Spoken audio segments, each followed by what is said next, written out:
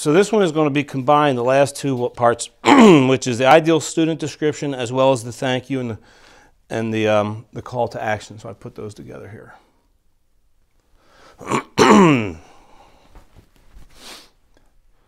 the ideal student for this course is really anybody who's ready to make big moves on the things that truly matter to you in life right now. There aren't any requirements to enroll. I just ask that you come in jacked up and ready to be bold. Feel free to take a look at the course outline, I look forward to seeing you in class.